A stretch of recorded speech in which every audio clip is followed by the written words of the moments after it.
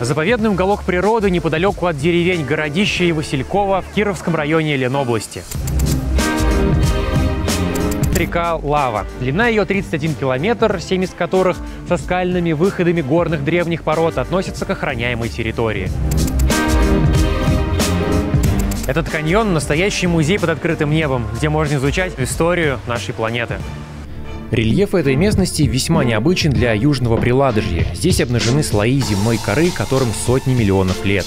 Такое явление, как каньон, тем более такой выразительный и глубокий, а общая глубина у него может составлять до 35 метров, для нашей местности явление относительно редкое.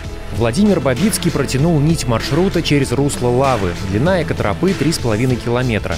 По сути, вдоль уже протоптанных тропинок расставили указатели, информационные щиты, на склонах установили лестницы. Внимательные туристы по пути могут обнаружить древних обитателей моря, которое было здесь примерно 500 миллионов лет назад. Остатки ископаемых беспозвоночных прямо под ногами.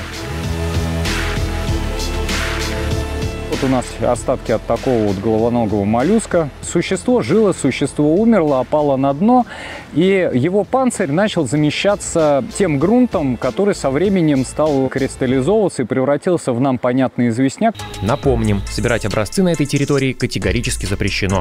Это должно служить памятником и объектом э, изучения и для будущих поколений ученых.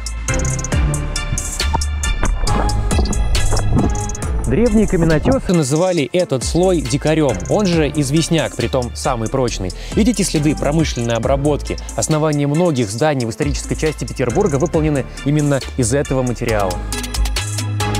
Пятки колонн Горного института сделаны из э, путиловского дикаря.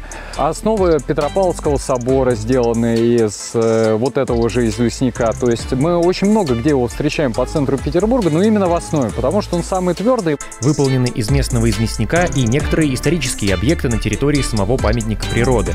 Работа архитектора Давида Висконси. Двухарочный мост 1825 года. Пока рядом не построили современную переправу, по нему даже ездили машины. Мост проложен по так называемому Архангелогородскому тракту.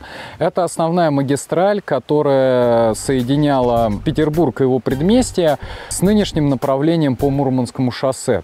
Местами даже просматривается булыжное мощение Петровской эпохи. Чуть в стороне основание водяной мельницы, опять же, из местного дикаря.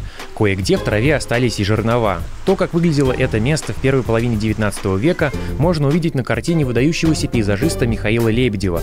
Художник запечатлел на холсте усадьбу инспектора Академии художеств Крутого. Как видите, в те времена река Лава была куда более полноводной. Вот как просто вот эти вот руины мельницы нас выводят на абсолютно новый уровень понимания этого места.